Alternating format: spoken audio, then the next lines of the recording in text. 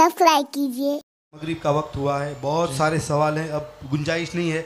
एक आखिरी सवाल इसके बाद नमाज़ मगरिब के लिए अजान होगी। आखिरी सवाल औलाद माँ बाप के सामने उफ नहीं कह सकते मगर माँ बाप अगर बच्चों के साथ नाइंसाफ़ी करे उस वक्त माँ बाप से किस तरह पेश आना चाहिए? आपने ये वजाहत नहीं किया कि किस तरह की नाइंसाफ़ी करते हैं लेकिन अगर वो प्यार करने में नाइंसाफ़ी करते हैं तो आपको ऐसा लगता है कि ये नाइंसाफ़ी है?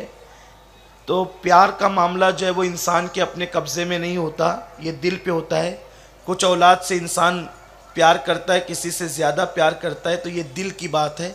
इसको नाइंसाफ़ी नहीं कह सकते, लेकिन अगर वो खर्च देने में नाइंसाफ़ी करते हैं कि एक को दस देते हैं, दूसरे को पाँच देते हैं तो ऐसी सूरत में माँ बाप के सामने बड़ी नरमी के साथ अपना मुतालबा रखना चाहिए।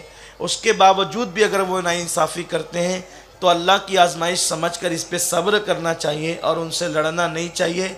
इसलिए कि माल तो ख़त्म होने वाली चीज़ है, जो माँ बाप की दुआ ले ले वो सबसे बड़ा मालदार इंसान होता है। इसलिए अगर आप वजाहत कर देते कि किस तरह की नाइंसाफ़ी है तो उसी तरह का जवाब भी यहाँ से दिया जाता। लेकिन अगर बात सिर्फ़ खर्चे पानी की है तो ऐसी सूरत में सब्र से काम लेना ज़्यादा बेहतर है।